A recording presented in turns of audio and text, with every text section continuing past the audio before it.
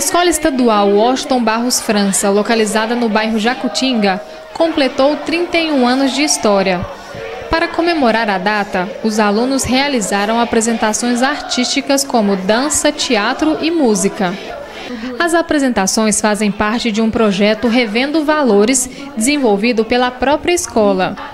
Os valores são não violência, verdade, conduta correta, amor e paz trabalhados no cotidiano escolar. O objetivo é comemorar o aniversário né, do Washington, que é em março e nós só conseguimos fazer agora as apresentações que está dentro do nosso projeto Revendo Valores. Né? A gente tem trabalhado o projeto no dia a dia com eles e hoje a gente está apresentando esse projeto é, com a culminância do aniversário da escola.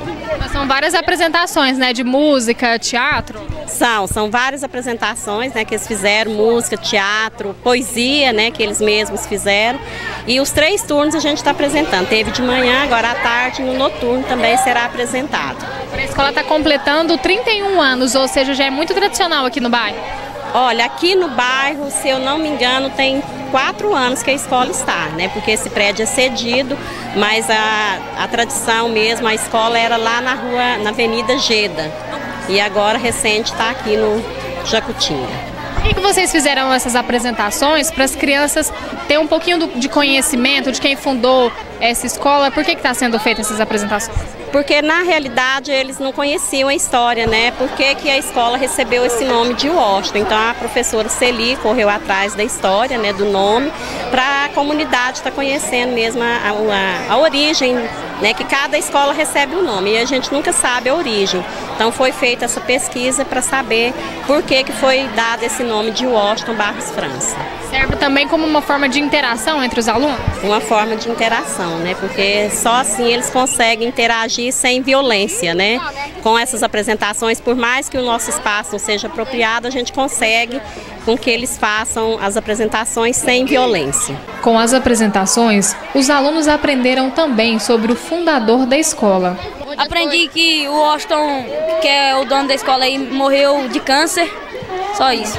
O que você acha de estudar aqui?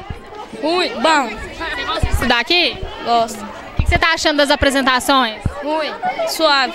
Tá gostando? Não. Gosto. Que não devemos praticar bullying, temos que cuidar e manter nossa escola limpa, porque o bullying é uma prática que leva ao crime. E muitas pessoas sofrem com isso e pode chegar ao suicídio, à obesidade. Não devemos praticar bullying. Gostou de aprender? Gostei. Com essas apresentações eu aprendi que o bullying o bullying é conformado como assim, várias pessoas fazem o bullying com as pessoas, só porque elas são de cores diferentes, de forma diferente, aparência diferente. E isso eu aprendi que o bullying, a gente não pode fazer bullying com ninguém, porque a gente é a imagem e semelhança de Deus. Você não vai praticar bullying com seus colegas? Não, e nunca pratiquei.